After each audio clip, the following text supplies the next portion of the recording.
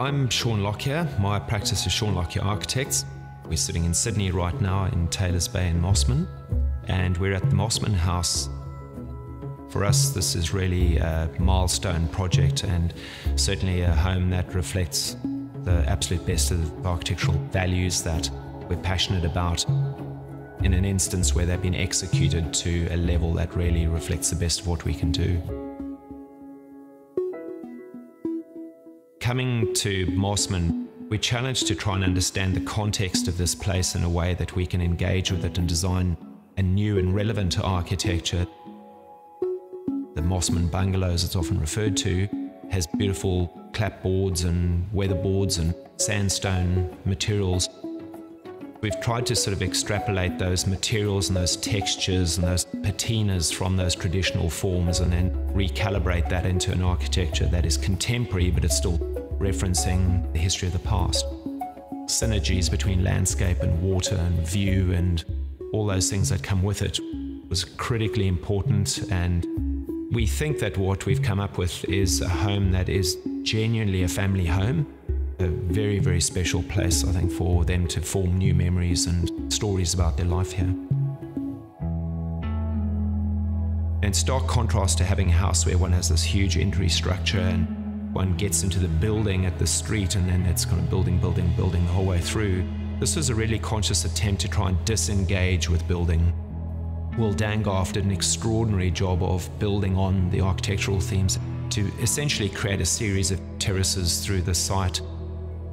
As you come down into the house and sort of into the sunken courtyard in the northeast corner, the house feels a little bit subservient to the landscape.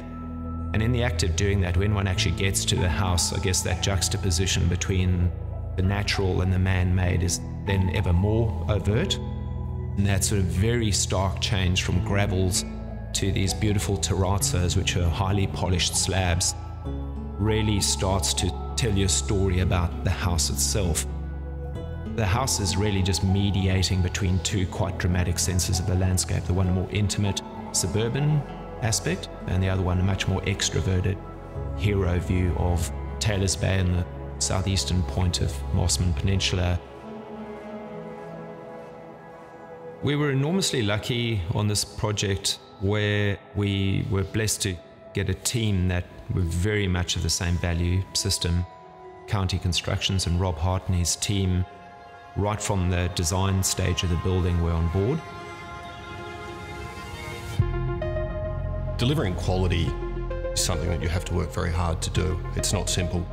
That's what appeals to me about specialising in high end residential construction. It's just every project, whether it's an alteration or addition or a new build like this, has all its own intricacies and challenges that you've got to overcome.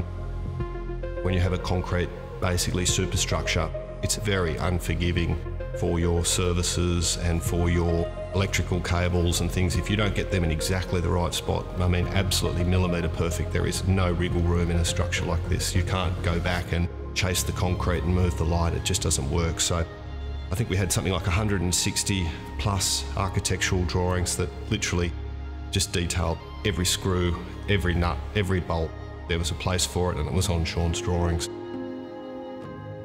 The different textures of the concrete in the house, basically we've got what we call off-form concrete, which is a smooth concrete that's just simply poured. By far the biggest challenge in this job with the concrete was the board form to the ceilings and also particularly to the staircase.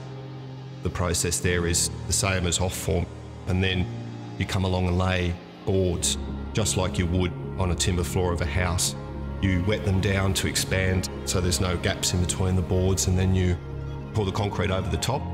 And 28 days later, you strip the timber off and you hope that you get a perfect finish.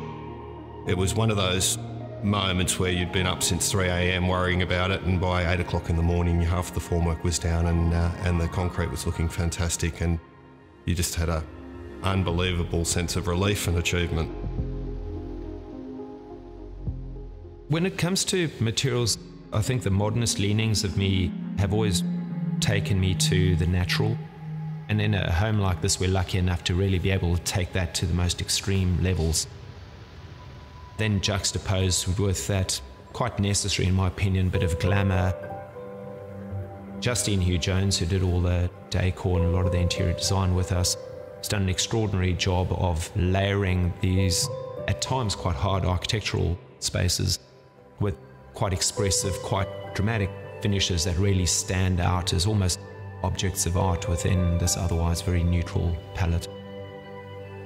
Elements like the staircase, which is in the middle of what is otherwise quite a deep plan, in this case is punctuated by a skylight over the top of the off-form concrete wall. And the theatre of that light against the texture of those walls, for me, is very beautiful. And then as one transitions down into that stair, it would be hard to go past the wine cellar. And when one goes to that wine cellar as a backdrop to the living space downstairs, beautifully lit up with exquisite lighting and a lovely pendant over a beautiful big table. It's a lot of fun. The difference between a high end house and a house that's super high end like this is just the layers of finish and the layers of coordination that go into delivering a build with your designer, your landscape architect, and of course your architect. People would come in and say, Wow, this is an incredible fireplace, or Wow, it's a beautiful floor. I come in and say, We had to put hydronic floor heating underneath, we had to pressure test it, we had to pour 75 mils of in situ terrazzo after we spaced out all of the brass strips to within a millimetre I'll be driving down here in 30 years showing my grandchildren that I built this house because I'm just so proud of the process and the, and the outcome. At the end of the day, this is a milestone project. There's a lovely sort of connection of the narrative of what has been here for hundreds of years and what we've put here. And in the end, we really feel like we've designed something here that's going to endure all those romantic ideas about how sort of sits into the landscape and becomes subservient to it, I think is paying dividends. This is a house that people will recognize a lot of love, passion, and attention to detail went into.